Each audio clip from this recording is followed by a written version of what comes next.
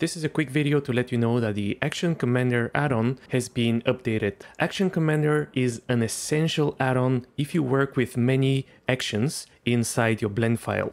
Because from the add-ons interface, you can just click on an action and assign it. And that also automatically adjusts your frame range. This can easily save you thousands of clicks over time but I already have a separate video about the main functions of the add-on. In this video, we'll just focus on the updates. And by the way, Blender Market is running a sale right now, so you can get the add-on a little bit cheaper. The sale will be over very soon, but if you're watching this video, you'll have another chance to save in the next week or so. Information about the additional discount will be displayed on screen now. Before we get into it, just want to mention addons.cgdive.com. This is CGDive's attempt to organize Blender add-ons and resources in a way that makes sense. So for example, the Action Commander is under Animation because it deals with actions and animations. So animation, and then we go to action and pose management. And here you'll find Action Commander along with other similar add-ons. If you click on the Action Commander entry, You'll find some info about the add-on, my previous in-depth review and tutorial, official documentation, and I'll try to add a short article as well. Now let's check out the Action Commander updates. The first update is that the add-on now works in Blender 4.1. And as with most add-ons by BlenderBoi, the latest features only work with the latest Blender version.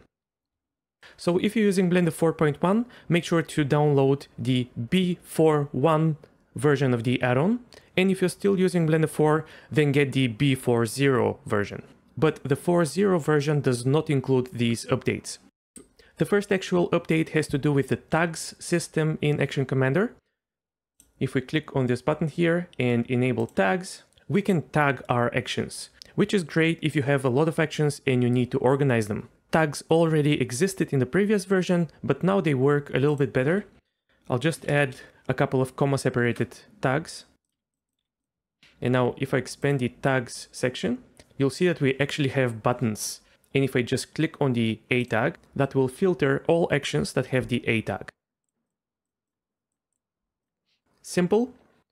And we can now control the width of these buttons. So I can make them smaller or wider.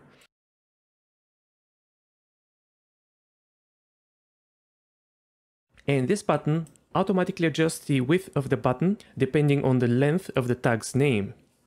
Next we have a small but nice feature. All actions in the action list have this action icon next to them and if you don't have it, make sure to enable action icon for decoration.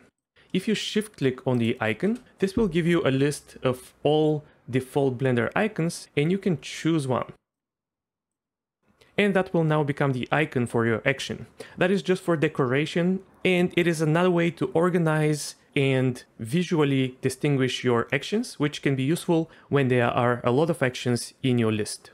Another new feature is the ability to add preview clips to your animations. Preview clip needs to be enabled in the visibility options. Then I'm going to create a camera. And so first I need to render out the preview clip.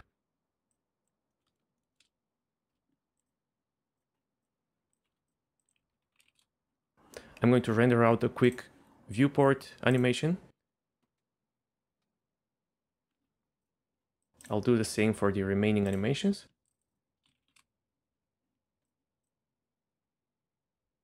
Because Action Commander automatically adjusts the frame range, this is very simple. I just click on the action, change the name, and render.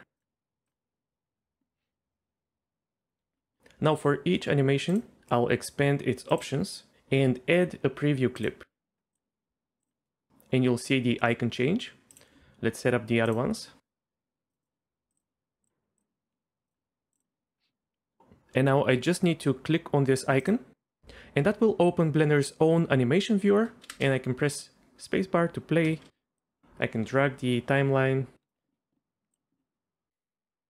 so a nice preview feature, I guess what I would like to see is a batch render feature so that you can just set up the viewport and all preview clips will be rendered out from a specific camera.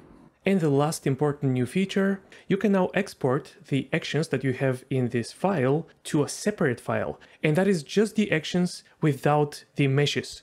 This can be very cool if you want to create a custom action library. Blender currently does not have support for actions in the asset browser, but you could use this feature to create your own workflow. To use it, make sure that the select this action visibility toggle is enabled and you'll be able to select actions. So only the selected actions will be exported. Let me untick happy, for example, and then I'll go here to this triangle and go all the way down to export selected actions to multiple blend files or to one file. So we have two options. Let's try multiple blend files first. It doesn't matter what name you set here because Action Commander will use the exported actions name as the name for the blend file. So just press export to multiple blend files and then I'll go to the folder where the actions are supposed to be. Okay, so I have slight trouble with this feature. However, I was able to figure out what the problem was. Currently, you have to have the armature selected and then go to export actions to multiple blend files and then just click the export button. And now your actions will be saved as individual blend files.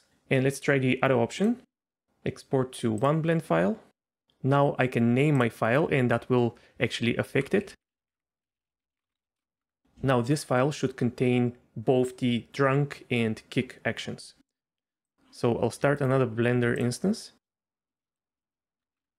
and drag and drop this file into it. And here is a warning that I haven't seen before. It says library file loading empty scene. That is because there are no objects in the scene, I guess. But if we go to blend file in the outliner and look under actions, you'll see that the exported actions are there. And same with the individual action files. The exported action will be in this file. And so in our main scene, of course, we can go to File, Append or Link, and append our actions. But Action Commander also has dedicated feature for appending and linking. So if I choose it, I'll be able to append or link the actions that are in this file right? And they'll be added here to my list. Very cool feature, and BlenderBoi mentioned that he may implement a similar feature of exporting the selected actions, but instead of blend files, it would use FBX or GLTF. That sounds cool, but it isn't in this version of the add-on. Please click like, subscribe, and check out addons.cgdive.com if you want to discover cool Blender add-ons.